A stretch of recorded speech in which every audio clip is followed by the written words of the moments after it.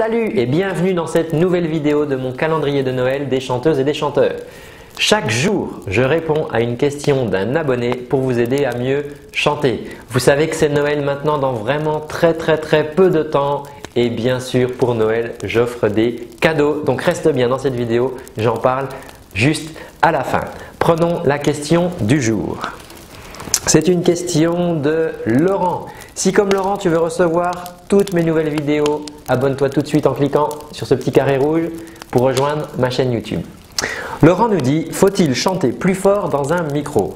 Yes, Laurent, très bonne question. Effectivement, quand on se retrouve face à un micro, on, des plus, on est des fois désemparé parce qu'on va chanter, on a l'impression que le son est amplifié euh, très fort. Euh, du coup, on va se mettre à chanter moins fort. Ou des fois, euh, on va se mettre à chanter plus fort parce qu'on a l'impression qu'on ne nous entend pas. Et je vais t'expliquer ce qui se passe par rapport à ça.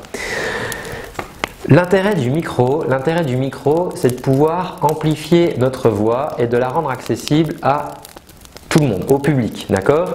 Qui est 100, 200 ou 5000 personnes, grâce au micro, tout le monde pourra t'entendre correctement.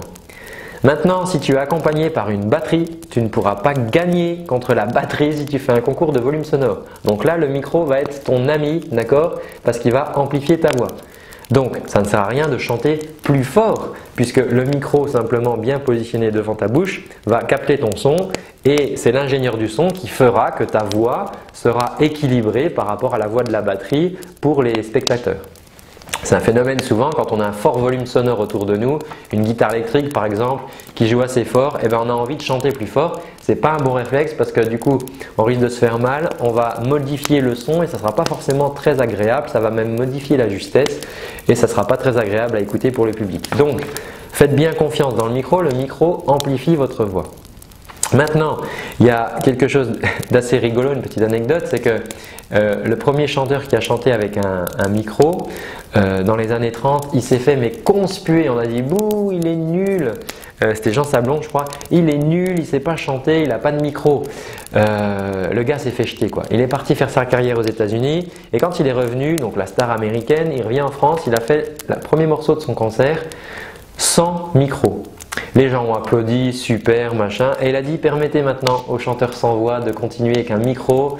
Et maintenant, voilà, les gens étaient habitués au micro, donc il a chanté avec son micro, c'était extra. Mais ça n'a pas toujours été aussi évident. Les chanteurs lyriques, eux chantent sans micro, mais ils utilisent pour ça la technique lyrique qui leur permet notamment de chanter fort et de chanter avec certains effets de voix qui vont leur permettre d'être entendus malgré l'orchestre qui joue avec eux. Mais c'est une technique spéciale. Vous n'avez peut-être pas forcément envie de sonner lyrique quand vous chantez et à ce moment-là, ben, utiliser un micro, c'est vraiment le, plus simple. Après, euh, quand vous chantez dans le micro, vous allez entendre votre son via des retours. Ce sont des haut-parleurs qu'on dispose comme ça à vos pieds pour que vous entendiez bien ce qui se passe. Et euh, il ne faut pas que vos retours soient trop forts. Bien souvent, les chanteurs disent plus fort, plus fort, plus fort. Oui, c'est bien de bien vous entendre, c'est une bonne chose. Mais si vous entendez trop fort, vous allez, vous, avoir tendance à chanter moins fort. Et dans ce cas-là, on aura le phénomène inverse de tout à l'heure par rapport à la question de Laurent qui dit faut-il chanter plus fort? Si vous vous mettez à chanter moins fort, le timbre va s'en retrouver, altéré. Tout d'un coup, au lieu de chanter da da da da da da da, vous faire da da da da da da da. C'est pas du tout pareil, d'accord? Ça n'a pas le même peps et ça n'a pas la même résonance. Donc méfiez-vous de ça. Si jamais vous avez un son trop fort, vous risquez en plus de vous écouter chanter. Et ça c'est infernal parce que quand on s'écoute chanter, on commence à rallonger les phrases, on commence à traîner, on n'écoute plus ce qui se passe autour, on n'est plus en connexion avec le public. Et bah c'est pas génial voilà pour les gens qui vous écoutent et pour les musiciens qui vous accompagnent.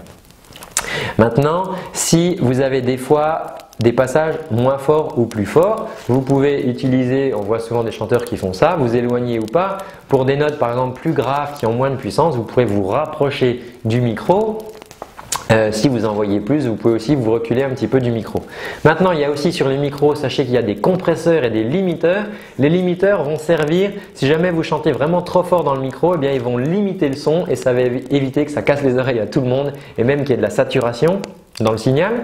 Et les compresseurs, eux, ce qu'ils vont faire, c'est qu'ils vont euh, prendre votre son le moins fort, prendre votre son le plus fort et ils vont niveler ça, faire une moyenne, d'accord De manière à ce que le son soit toujours euh, euh, bien distinct et agréable pour les oreilles des, spectateurs.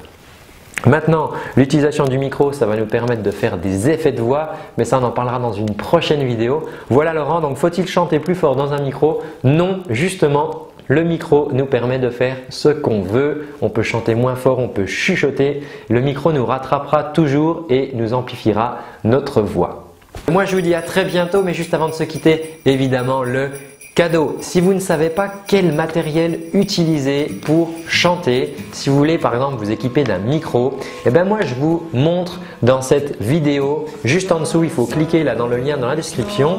Vous laissez votre adresse mail et je vous envoie ça. C'est une vidéo qui va vous montrer le matériel de base à avoir chez soi pour travailler sa voix.